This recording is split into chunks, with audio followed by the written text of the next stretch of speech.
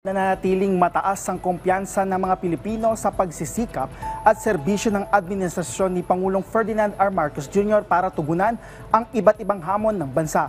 Patunay dyan ang mataas na trust at performance ratings ng Pangulo batay sa panibagong survey ng Okta Research. Si Kenneth Pasyentes sa detalye.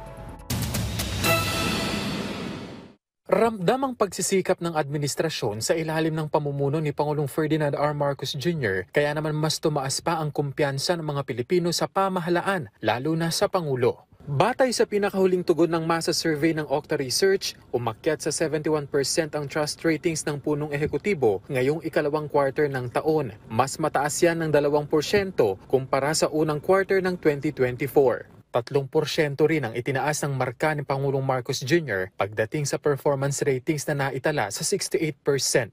Para kay Jovi, kita niya ang pagsisikap ng kasalukuyang administrasyon na tugunan ng mga hamong kinaharap ng bansa.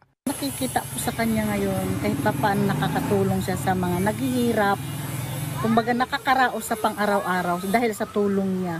Maganda naman daw ang pamamalakad ng pamahalaan batay sa obserbasyon ni Carrie. Pero marami pa anyang dapat gawin at tutukan gaya ng pagpapababa ng mga presyo ng mga bilihin. Bagay na naniniwala siyang matutugunan ng Marcos Jr. administration sa nalalabing taon pa nito sa pamumuno. Naniniwala naman ako sa kanya na may bibigay niya pa, may ilang taon pa naman siya na dapat may bigyan niya yung mga nararapat talaga sa mga Pilipino. Ayon sa Pangulo, maaaring malaking salik sa resulta ng survey ang pag-arangkada ng Presidential Assistance to Farmers, Fisherfolk and Families o PAF program ng pamahalaan kung saan siya mismo ang nanguna sa pag-iikot sa iba't ibang lugar sa bansa para makapaghatid ng tulong sa mga magsasaka at mangingisdang malubhang naapektuhan ng El Nino phenomenon. Pero mas ikinagalak niya na nakikita at nararamdaman na ng mga Pilipino ang mga hakbang at pagsisikap ng pamahalaan, bagay na pagbubutihin pa ng kanyang administrasyon.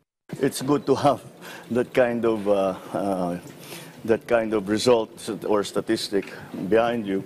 And it just uh, again, every time this happens, for us as, as far as I'm concerned, is that well, it seems to be people beginning to understand what we're trying to do. Uh, they're beginning to feel the effects of it, and so you must continue to do more and even try to do even better. So that's always an inspiration. Samantala, bumaba naman ang trust at performance ratings ni Vice President Sara Duterte na naitala sa 65% at 60%. Wala pang pahayag ang OVP ukol dito. Isinagawa ng Okta Research ang survey mula June 30 hanggang July 5, 2024 sa 1,200 adult respondents na may plus 3% margin of error at 95% confidence level. Kenneth Pasyente para sa Pambansang TV sa Bagong Pilipinas. Hinikayat ni Pangulong Ferdinand R. Marcos Jr. ang mga mamamahayag na maging katuwang ng pamahalaan sa paglaban sa disinformation at fake news. Kasabay nito ang pangakong pagiging ligtas ng Pilipinas para sa mga mamamahayag. Si Alan Francisco sa detalye.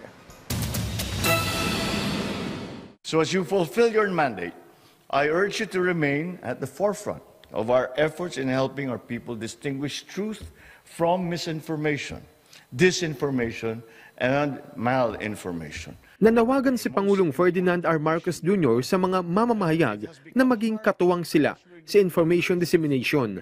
Nangyari ito sa outtaking ng mga bagong talagang opisyal ng kapisanan ng mga broadcaster ng Pilipinas at National Press Club. Kasama rin ang Malacanang Cameramen Association, Presidential Photojournalist Association at ang Malacanang Press Corps. In an age when information drives the progress of our society, your dedication to lending expertise to help speak the truth on matters of national importance and promote objectivity in the face of conflicting news is invaluable. I ask that you continue to adhere to the utmost ethical and professional standards of journalism, free from sensationalism, bias, and personal motives. Iginiit ni Pangulong Marcos na may hakbang ang pamahalaan laban sa disinformation at fake news. Hinikayat niya rin ng mga mamamahayag na tumulong sa pagkataguyod ng kapakanan ng bansa. Nangako rin ang administrasyon na mananatiling ligtas ang Pilipinas para sa mga mamamahayag.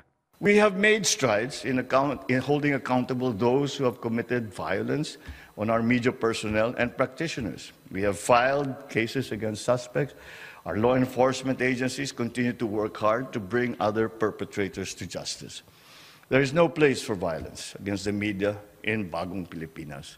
Alan Francisco para sa Pambansang TV sa Bagong Pilipinas.